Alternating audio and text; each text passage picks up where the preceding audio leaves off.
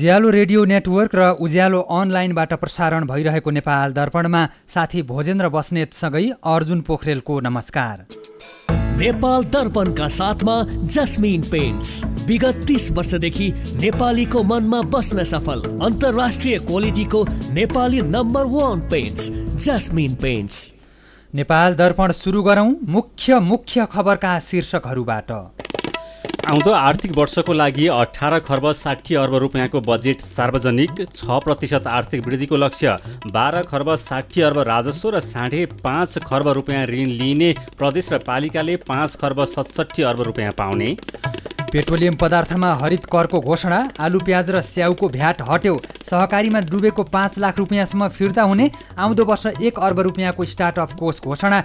बजेटका कार्यक्रम कार्यान्वयनमा नागरिकको शङ्का।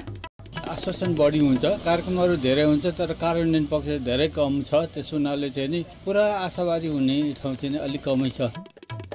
विभिन्न कार्यक्रम गरेर गणतन्त्र दिवस मनाइयो। यो व्यवस्थाले समृद्ध नेपाल निर्माणका लागि मार्ग निर्देश गरेको प्रधानमन्त्री प्रचण्डको दावी। चीनमा आइफोनको बिक्री बाहन्न प्रतिशतले बढ्यो। एप्पलले संसारकै ठुलो स्मार्टफोन बजारमा प्रतिस्पर्धा बलियो बनाउँदै। र खेल क्षेत्रमा साढे तिन अर्बको बजेट धेरैजसो पुरानै योजना।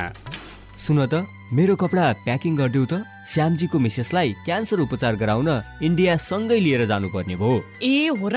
अनि सुन्नु त अब क्यान्सरको उपचार सिएमसी क्यान्सर इन्स्टिच्युट भरतपुरमा नै हुन्छ नि? नेपालमै पहिलो पटक अत्याधुनिक भेरिएन्ट ट्रुबिम भएको सिक्सटी काउस र हाइपर आर्क लगायतका अत्याधुनिक उपकरण प्रयोग गरी मस्तिष्कमा रहेको ट्युमर फोक्सोको क्यान्सर स्तन क्यान्सर घाँटी तथा टाउको सम्बन्धी क्यान्सर पेट तथा कलेजो सम्बन्धी क्यान्सर पाठेघरको मुख गर्भाशय तथा मूत्राशय सम्बन्धी क्यान्सर तथा अन्य क्यान्सरहरूको उपचार हुन्छ। क्यान्सर भएको ठाउँको पहिचान गरी रेडिएसनको माध्यमबाट पूर्ण रूपमा निको हुने गरी पनि उपचार गरिन्छ। सरकारी अस्पतालकै सेवा सेवा शुल्कमा उपचार हुनुका साथै नेपाल सरकारबाट प्रदान गरिने क्यान्सर पीडितहरूका लागि एक लाखसम्मको छुटको व्यवस्था पनि छ। ओहो यस्तो सुविधा रहेछ। ल अब क्यान्सर उपचार गराउन सिएमसी क्यान्सर इन्स्टिच्युटमा नै लिएर जान्छौ। क्यान्सर विरुद्ध आशाको किरण सिएमसी क्यान्सर इन्स्टिच्युट। फोन शून्य छप्पन्न चार चौरानब्बे तिन तेत्तिस चार तिरानब्बे पाँच पचपन्न। आफ्नो मोबाइल नम्बर परिवर्तन वा ब्लक भएको। आफ्नो ब्याङ्कलाई पनि जानकारी दिउँ। र आफ्नो ब्याङ्क खाताको जानकारी अरूको हातमा पुग्नबाट सचेत बनौ। सिद्धार्थ ब्याङ्कद्वारा जनहितमा जारी सन्देश। सिद्धार्थ ब्याङ्क सम्बन्ध सधैँभरिलाई। नेपाल दर्पणमा अब खबरको सिलसिला सुरुमै आर्थिक खबर। सरकारले आउँदो आर्थिक वर्षको लागि अठार खर्ब साठी अर्ब तिस करोड रुपियाँको बजेट सार्वजनिक गरेको छ। राष्ट्रिय योजना आयोगले दिएको सिलिङ तोकेरै बजेट सार्वजनिक भएको राष्ट्रिय योजना आयोगले दिएको सिलिङ तोडेर निकै ठुलो आकारको बजेट आउने हल्लाका बीच अर्थमन्त्री वर्षमान पुनले आज संयुक्त सदनको बैठकमा आउँदो वर्षको लागि अठार खर्ब साठी अर्ब तिस करोड रुपियाँको बजेट पेस गर्नुभएको हो। चालुतर्फ एघार खर्ब चालिस अर्ब छैसठी करोड अर्थात् एकसठी दशमलव तिन एक प्रतिशत बजेट विनियोजन भएको छ। पुँजीगत अर्थात् विकास बजेटतर्फ तिन खर्ब बाहन्न अर्ब पैँतिस करोड र वित्तीय व्यवस्थातर्फ तिन खर्ब सतसठी अर्ब अठार करोड रुपियाँ बजेट विनियोजन भएको छ। आउँदो वर्षको बजेट चालु वर्षको बजेटभन्दा एक्काइस प्रतिशतले ठुलो रहेको छ। चालु वर्षको तुलनामा आउँदो वर्षको विकास बजेट पचास अर्ब रुपियाँले बढेको छ भने चालुतर्फ एक अर्ब रुपियाँले भए पनि बजेट घटेको छ। आउँदो वर्ष सरकारले बाह्र खर्ब साठी अर्ब तिस करोड रुपियाँ राजस्व उठाउने लक्ष्य लिएको छ। यस्तै वैदेशिक अनुदानबाट बाहन्न अर्ब तेत्तिस करोड रुपियाँ ल्याउने उल्लेख छ। राजस्व र अनुदानबाट अपुग भएको रकम अर्थात् पाँच खर्ब सडचालिस अर्ब सतसठी करोड रुपियाँ ऋण लिने बजेटमा उल्लेख छ। यसमध्ये दुई खर्ब सत्र अर्ब सतसठी करोड रुपियाँ वैदेशिक र तिन खर्ब तिस अर्ब आन्तरिक ऋण लिने बजेटमा उल्लेख छ। सरकारले आउँदो आर्थिक वर्षमा प्रदेश र पालिकामा राजस्व बाँडफाँड र अनुदान गरी पाँच खर्ब सतसठी अर्ब रुपियाँ हस्तान्तरण गर्ने भएको छ। समानुकरण अनुदानतर्फ प्रदेशको लागि साठी अर्ब र स्थानीय तहको लागि अठासी अर्ब रुपियाँ विनियोजन भएको छ। सशर्त अनुदानतर्फ प्रदेशका लागि पच्चिस अर्ब चौवाल चौरासी करोड र स्थानीय तहको लागि दुई खर्ब आठ अर्ब अठासी करोड गरी जम्मा दुई खर्ब चौतिस अर्ब त्रिहत्तर करोड विनियोजन भएको छ।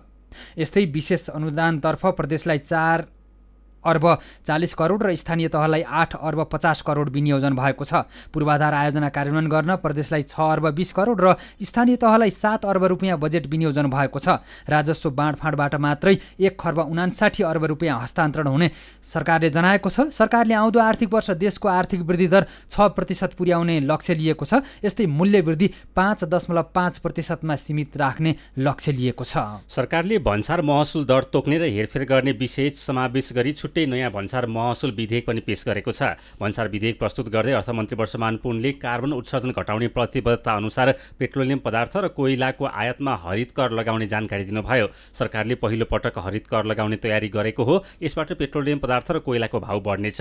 यस्तै सरकारले सुर्ती चुरुट र जाँड रक्सीमा शुल्क बढाएको छ। यस्तै सरकारले आलु प्याज र स्याउ लगायत कृषिजन्य वस्तुमा लाग्दै आएको भ्याट खारेज गरेको छ।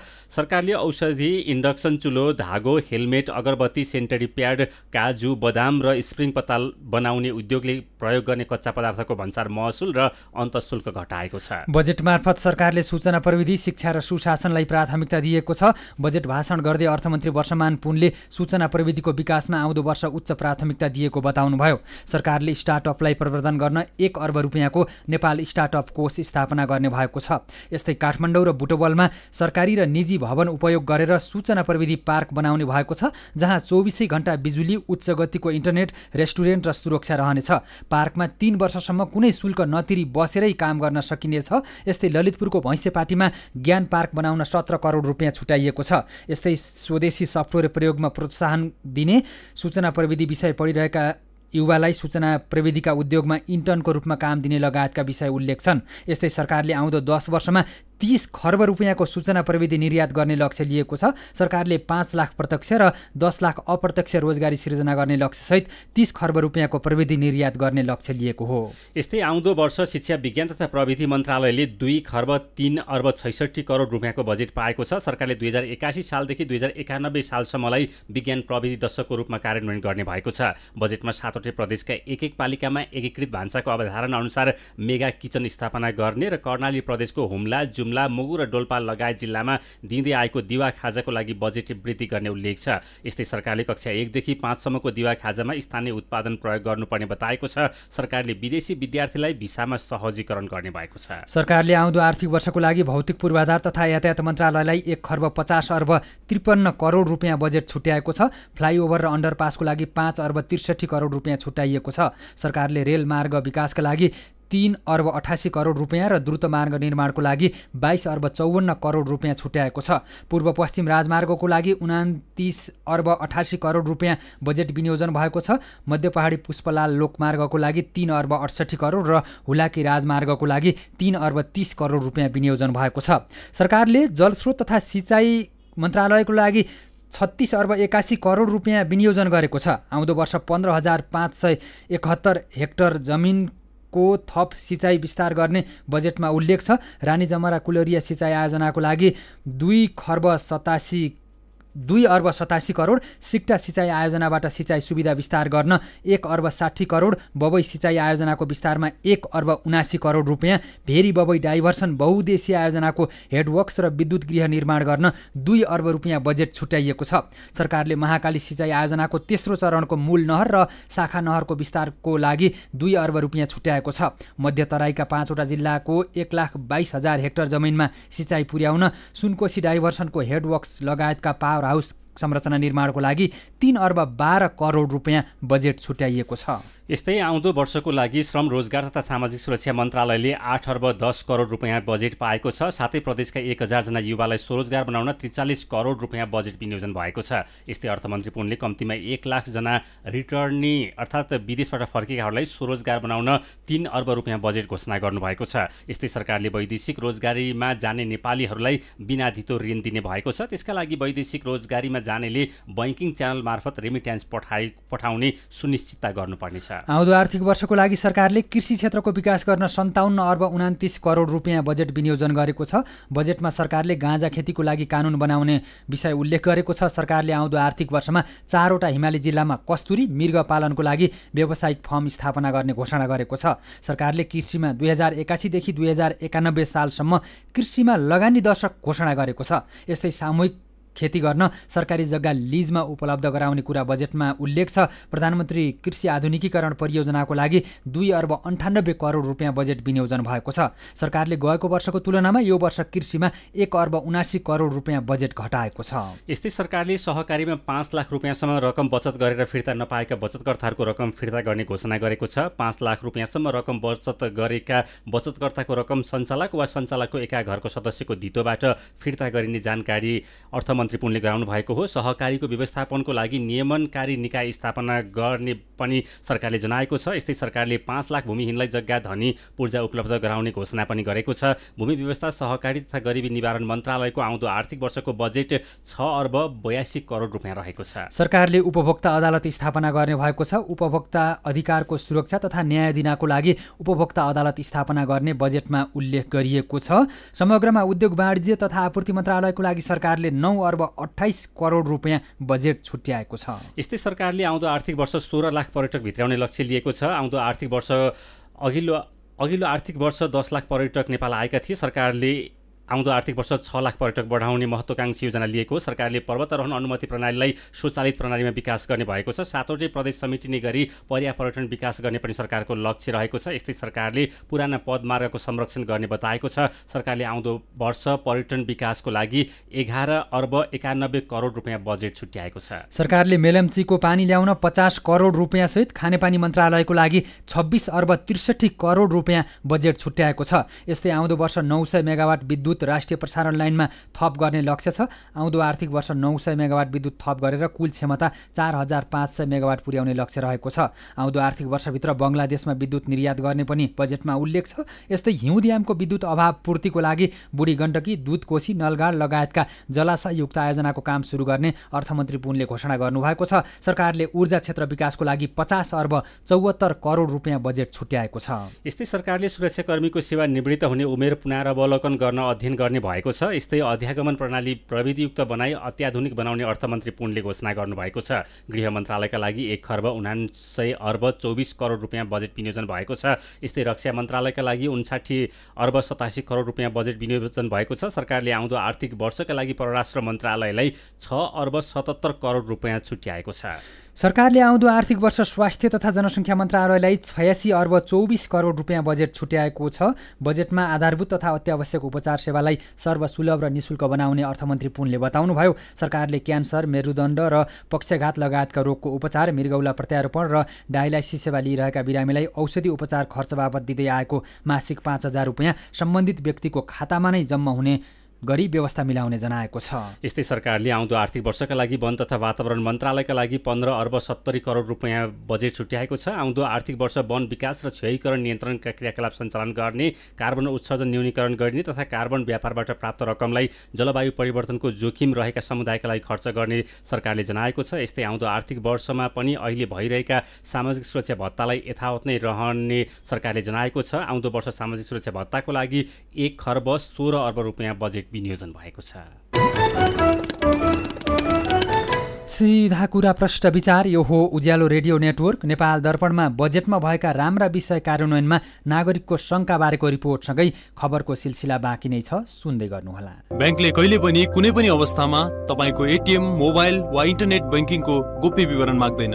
सिद्धार्थ ब्याङ्कद्वारा जनहितमा जारी सन्देश। सिद्धार्थ ब्याङ्क सम्बन्ध सधैँभरिलाई। उज्यालो रेडियो नेटवर्कबाट प्रसारण भइरहेको नेपाल दर्पणमा तपाईँलाई फेरि स्वागत छ। यतिन्जेल हामीले आउँदो आर्थिक वर्षको लागि अठार खर्ब साठी अर्ब रुपियाँको बजेट सार्वजनिक छ प्रतिशत आर्थिक वृद्धिको लक्ष्य बाह्र खर्ब साठी अर्ब राजस्व र साढे पाँच खर्ब रुपियाँ ऋण लिने पेट्रोलियम पदार्थमा हरित करको घोषणा आलु प्याज र स्याउको भ्याट हट्यो सहकारीमा डुबेको पाँच लाख रुपियाँसम्म फिर्ता हुने लगायतका खबरहरू प्रस्तुत गऱ्यौँ। नेपाल दर्पणमा फेरि पनि बजेटकै खबर सरकारले विदेशी पर्यटकलाई नेपालमा विवाह गर्न प्रोत्साहन गर्ने भएको छ। जनकपुरलाई वेडिङ र लुम्बिनीलाई बर्थिङ हबका रूपमा विकास गर्ने कार्यक्रम बजेटमा समावेश भएको छ। यस्तै सरकारी कार्यालयहरूमा अबदेखि विदेशी गलैँचा प्रयोग गर्न नपाइने भएको छ। यसले स्वदेशी गलैँचा उद्योगलाई प्रोत्साहन मिल्ने बजेटमा उल्लेख छ। यस्तै छोरीहरूलाई विभिन्न सिप दिन तथा आत्मनिर्भरको लागि सञ्चालन हुने प्रधानमन्त्री छोरी कार्यक्रमलाई सरकारले दस करोड रुपियाँको बजेट विनियोजन गरेको छ। बजेटले प्रधानमन्त्री पुष्पकमल दाहाल प्रचण्डकी स्वर्गीय पत्नीको नाममा पनि कार्यक्रम घोषणा गरेको छ। आउँदो आर्थिक वर्षको बजेट प्रस्तुत गर्दै अर्थमन्त्री Barshaman पुनले Kathmandu Sita Dahal memorial college of naturopathy and यौगिक कलेज स्थापना र भौतिक पूर्वाधार निर्माणका लागि रकम व्यवस्था गरेको जानकारी गराउनु भएको हो। यसपालिको बजेटमा पनि धेरै राम्रा र महत्त्वकाङ्क्षी कार्यक्रम समेटिएका छन् तर कार्यान्वयनमा शङ्का छ। बजेटप्रति नागरिकको आशा र चासो समेटेर महेश गेवालीले तयार पारेको रिपोर्ट। ललितपुर जाउला खेलमा यात्रु कुरिरहेका ट्याक्सी चालकहरू सडक किनारमै उभिएर आगामी वर्षको बजेटबारे कुराकानी गरिरहेका छन्। बुढा नीलकण्ठ बस्ने सर्लाही लालबन्दी नगरपालिकाका ट्याक्सी चालक रमेश कुमार गोलेलाई बजेटमा खासै आशा र रुचि छैन। इन्धनको भाउ निरन्तर उकालो लागिरहेको छ तर बजेटले कुनै राहत दिएको छैन। बजेट चाहिँ जुन कामको लागि छुट्याइ त्यो काममा चाहिँ उपयोग नभएको कारणले चाहिँ अलिकति असर परिरहेछ र यो बजेटको कुनै अहिलेसम्म फरकै भेटेको छैन बजेटले अर्थतन्त्रलाई बलियो बनाउने र रोजगारी सृजना गर्ने कार्यक्रम ल्याउँछ भन्ने आम नागरिकको विश्वास हो। बजेटले राम्रो सिँचाइ प्रणाली र दुर्गम क्षेत्रलाई बजारसँग जोडेर कृषि उत्पादकत्व बढाउन किसानको महत्त्वलाई स्वीकार गरे पनि बिउ मल र उचित सिँचाइ जस्ता अत्यावश्यक वस्तुहरू किसानको पहुँचभन्दा बाहिर छ।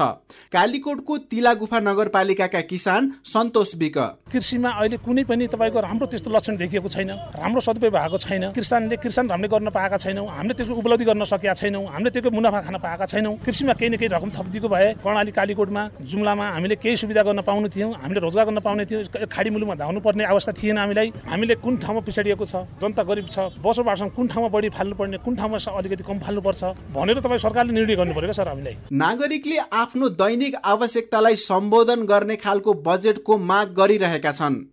त्यसै अनुसार बजेटमा पनि सस्तो स्वास्थ्य सेवा सुधारिएको पूर्वाधार गुणस्तरीय शिक्षा र रोजगारी सृजनालाई प्राथमिकतामा राखिएको छ। सुरक्षित भविष्य खोज्ने युवाको आकाङ्क्षालाई मान्यता दिँदै सरकारले सिप विकास पहल र स्टार्टअपका लागि थप बजेट विनियोजन गरेको छ तर शङ्का भने कायमै छ।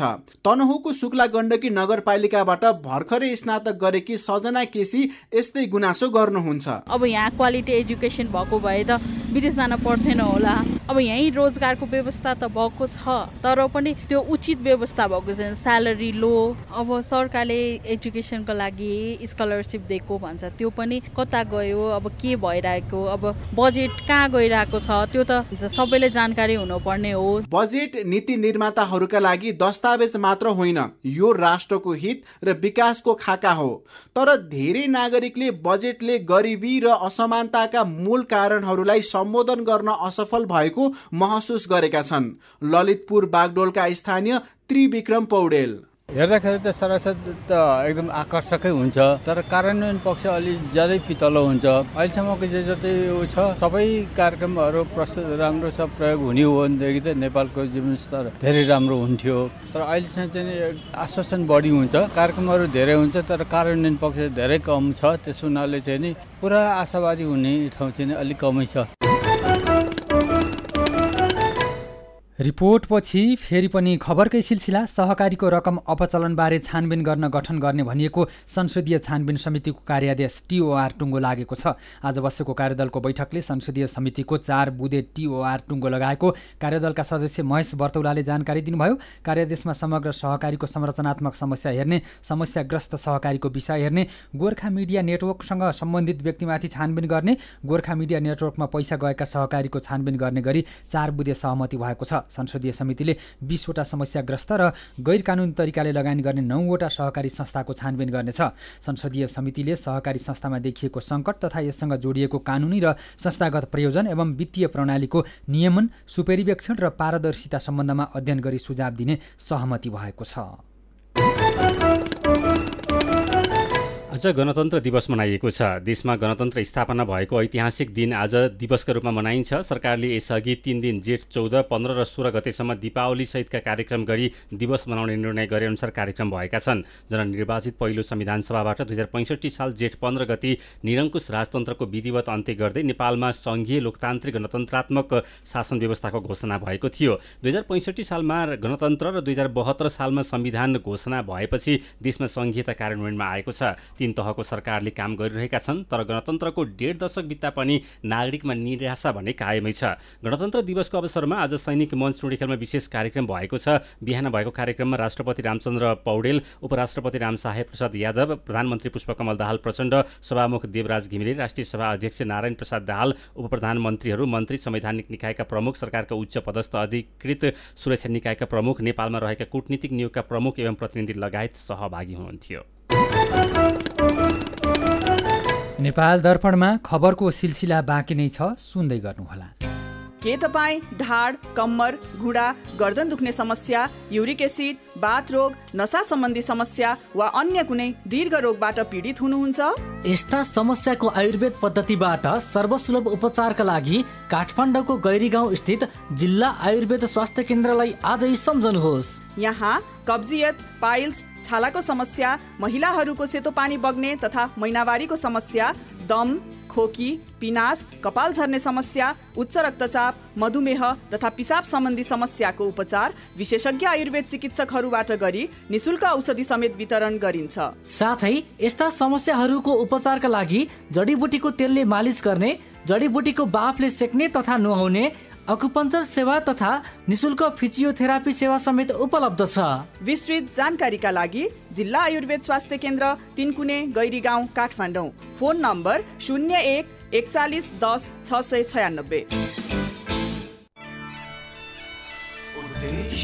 अटल लिएर हामी अझै सबल बनेर।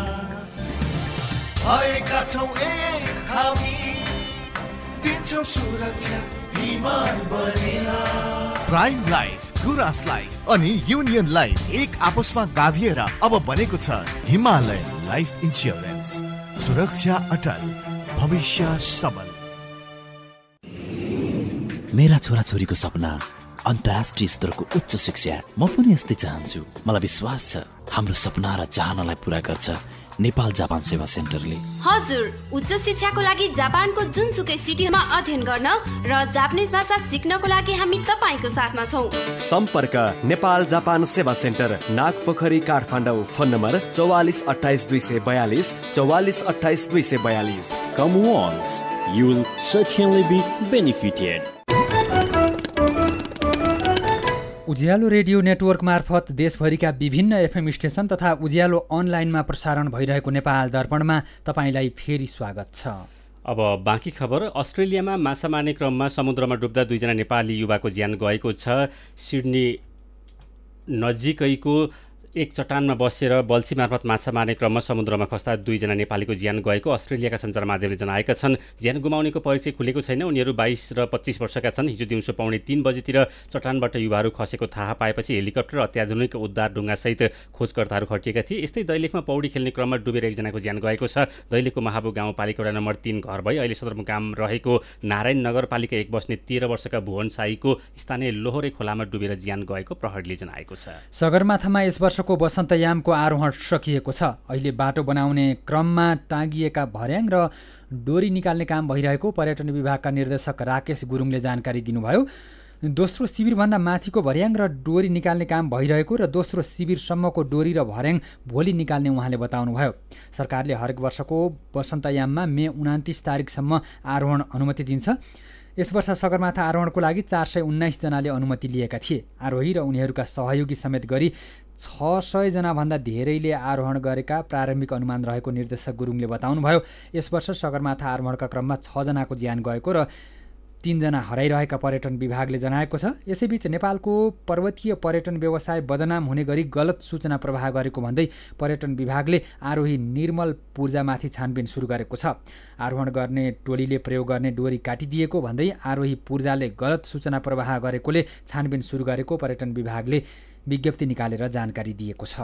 कान्तिपुर पब्लिकेसनका अध्यक्ष कैलाश सिरोहियालाई काठमाडौँ ल्याइएको छ। सिरोहियालाई दिउँसो हेलिकप्टर मार्फत काठमाडौँ पठाएको जिल्ला प्रहरी कार्यालय धनुषाका डिएसपी रञ्जन अवाले जानकारी दिनुभयो। जनकपुरको काव्य अस्पतालमा रहेका सिरोहियालाई थप उपचारका लागि काठमाडौँमा पठाउन रेफर भएसँगै हेलिकप्टर मार्फत काठमाडौँ पठाएको उहाँले बताउनुभयो। हिजो रातिदेखि अवरुद्ध भएको पूर्व पश्चिम राजमार्गको नवलपुर खण्ड एकतर्फी चलिरहेको छ। विस्तारको क्रममा रहेको नारायणगढ बुटवल खण्डको गैँडाकोट नौ थुम्सीमा नवनिर्मित पुलको पहुँच मार्ग भाँसिँदा गैराती दुई बजेदेखि सडक अवरुद्ध भएको थियो।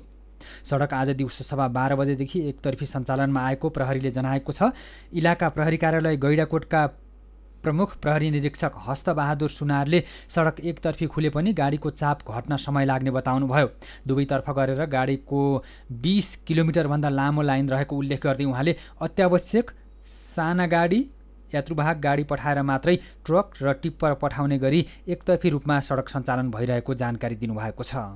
कैलालीका किसानले केरामा देखिएको पानामा रोग नियन्त्रणको लागि सहयोग गर्न माग गरेका छन्। टिकापुरमा भएको एक छलफल कार्यक्रममा उनीहरूले गएको वर्ष कैलालीको टिकापुरमा केही किसानको बारीमा देखिएको पानामा रोग नियन्त्रणमा सरकारले सहयोग नगरेको गुनासो पनि गरेका छन्। विश्वका अरू देशमा समेत ठुलो क्षति गरिरहेको पानामा रोगको टिआर फो प्रजाति गएको वर्ष टिकापुरमा पुष्टि भएको थियो। यसको समयमा नै रोकथाम गर्न नसके नेपालमा व्यावसायिक खेती गरिरहेका केरा किसानहरूको बिचल्ली हुने उनीहरूले बताएका छन्। टिकापुरमा किसान टिकापुरका किसान टेकेन्द्र धामीले चारवटा बगानमा रोग देखिएको भने पनि कसकसको बगानमा देखिएको भन्ने जानकारी समेत नदिएको र रोकथामका लागि कतैबाट पहल नभएको बताउनुभयो। कपिलवस्तुको यशोधरा गाउँपालिका वडा नम्बर छ रङ्गपुरमा ट्रान्सफर्मर बनाउने क्रममा करेन्ट लागेर एकजनाको ज्यान गएको छ। नेपाल विद्युत प्राधिकरण तौली हावा वितरण केन्द्रमा कार्यरत ज्यालादारी कर्मचारी यशोधरा दुई गणेशपुरका बत्तीस वर्षका हरिशचन्द्र मिश्रको ज्यान गएको जिल्ला प्रहरी कार्यालय कपिल वस्तुले जनाएको छ। हावाहुरीसँगै आएको पानीले गर्दा रङ्गपुरमा रहेको ट्रान्सफर्मर बिग्रदा विद्युत अवरुद्ध बनेको थियो। त्यही ट्रान्सफर्मर बनाउने क्रममा करेन्ट लागेर मिश्रको ज्यान गएको विद्युत प्राधिकरण तौली हावा वितरण केन्द्रले जनाएको छ। नेपाल दर्पणमा अब विदेशका खबर। चीनमा आइफोनको बिक्री बाहन्न प्रतिशतले बढेको छ। अमेरिकी कम्पनी एप्पलको उत्पादन आइफोनको बिक्री चीनमा अघिल्लो वर्षको अप्रिल महिनाको तुलनामा यस वर्षको अप्रिलमा बाहन्न प्रतिशतले बढेको समाचार संस्था रोइटर्सले जनाएको छ। गएको मार्च महिनामा पनि चीनमा आइफोनको बिक्री अघिल्लो वर्षको मार्चको तुलनामा बाह्र प्रतिशतले बढेको थियो। वाइ लगायत चिनिया उत्पादन कम्पनीहरूसँगको प्रतिस्पर्धालाई सशक्त बनाउँदै एप्पलले संसारकै ठुलो स्मार्टफोन बजारमा आफ्नो उपस्थिति बलियो बनाएको हो। चीनमा अप्रिल महिनामा मात्रै सबै किसिमका गरी दुई करोड सत्ताइस लाख पचास हजारवटा स्मार्टफोन बिक्री भएका छन्। यो अघिल्लो वर्षको अप्रिल महिनाको तुलनामा पच्चिस दशमलव पाँच प्रतिशतले धेरै रहेको China academy of information and educations technology communications technology सिएआइसिटीले जनाएको छ। भारतको मिजोरममा एउटा ढुङ्गा खानीमा पुरिएर दसजनाको ज्यान गएको छ। केही हराइरहेका छन्। मिजोरमको आइजोल जिल्लामा अविरल वर्षाका कारण आज बिहान ढुङ्गा खानीमा पहिरो झरेको र त्यही पहिरोमा पुरिएर दसजनाको ज्यान गएको हिन्दुस्तान टाइम्सले जनाएको छ। मिजोरममा राष्ट्रिय सडक पहिरोले बगाउँदा अरू राज्यसँगको यातायात सम्पर्क टुटेको छ। अब खेल खबर सरकारले युवा तथा खेलकुद मन्त्रालयका लागि तिन अर्ब पचास करोड रुपियाँ बजेट विनियोजन गरेको छ। आउँदो आर्थिक वर्ष दुई हजार एकासी बयासीको बजेट प्रस्तुत गर्दै अर्थमन्त्री वर्षमान पुनले दसौँ राष्ट्रिय खेलकुद प्रतियोगिता आयोजना गर्न साठी करोड रुपियाँ विनियोजन भएको जानकारी दिनुभयो। सरकारले चितवनको गौतम बुद्ध क्रिकेट रङ्गशाला सङ्घ प्रदेश र पालिकाको साझेदारीमा निर्माण कार्य अगाडि बढाउने भएको छ। सरकारले किर्तिपुर क्रिकेट रङ्गशालाको स्तर उन्नति र फाप्ला क्रिकेट रङ्गशाला निर्माणलाई तीव्रता दिने भएको छ। आउँदो वर्ष अस्सीवटा राष्ट्रिय स्तरका खेलकुद प्रतियोगिता गर्ने सरकारको लक्ष्य छ। र पाकिस्तान र इङ्ल्यान्ड बिचको तेस्रो टी ट्वेन्टी क्रिकेट आज हुँदैछ। खेल नेपाली समयअनुसार राति सभा एघार बजे इङ्ल्यान्डको कार्डिफमा सुरु हुनेछ। चार खेलको श्रृङ्खलामा इङ्ल्यान्ड एक शून्यले अघि रहेको छ। आजको खेल जितेमा इङ्ल्यान्डले श्रृङ्खला जित्नेछ। यो श्रृङ्खला जोगाउन पाकिस्तानलाई आजको खेल जित्नै पर्ने दबाव रहेको छ। गएको शनिबार भएको दोस्रो खेलमा पाकिस्तान तेइस रनले पराजित भएको थियो। पहिलो खेल भने वर्षाका कारण रद्द भएको थियो। चौथो तथा अन्तिम खेल पर्सि बिहिबार हुनेछ। खेल खबरसँगै हामी नेपाल दर्पणको अन्त्यमा आइपुगेका छौँ। आजका मुख्य मुख्य खबरका शीर्षकहरू फेरि एकपल्ट। आउँदो आर्थिक वर्षको लागि अठार खर्ब साठी अर्ब रुपियाँको बजेट सार्वजनिक छ प्रतिशत आर्थिक वृद्धिको लक्ष्य बाह्र खर्ब साठी अर्ब राजस्व र साढे पाँच खर्ब रुपियाँ ऋण लिने प्रदेश र पालिकाले पाँच खर्ब सतसट्ठी अर्ब रुपियाँ पाउने। पेट्रोलियम पदार्थमा हरित करको घोषणा आलु प्याज र स्याउको भ्याट हट्यो। सहकारीमा डुबेको पाँच लाख रुपियाँसम्म फिर्ता हुने आउँदो वर्ष एक अर्ब रुपियाँको स्टार्टअप कोष घोषणा बजेटका कार्यक्रम कार्यान्वयनमा नागरिकको भने शङ्का। विभिन्न कार्यक्रम गरेर गणतन्त्र दिवस मनाइयो यो व्यवस्थाले समृद्ध नेपाल निर्माणका लागि मार्ग निर्देश गरेको प्रधानमन्त्री प्रचण्डको दावी। चीनमा आइफोनको बिक्री बाहन्न प्रतिशतले बढ्यो। एप्पलले संसारकै ठुलो स्मार्टफोन बजारमा प्रतिस्पर्धा बलियो बनाउँदै। र खेल क्षेत्रमा साढे तिन अर्बको बजेट धेरैजसो पुरानै योजना। आजको नेपाल दर्पण सकिएको छ। प्राविधिक साथी सङ्घर्ष विष्टसँगै हामी भोजेन्द्र बस्नेत र अर्जुन पोखरेल पनि बिदा हुन्छौँ। उज्यालो रेडियो र अनलाइनमा प्रकाशन प्रसारण भइरहेका सामग्री भाइबरमा पनि उपलब्ध छन्। डेङ्गु फैलाउने लामखुट्टेबाट बच्न झुलभित्र सुत्ने गरौँ। नमस्कार।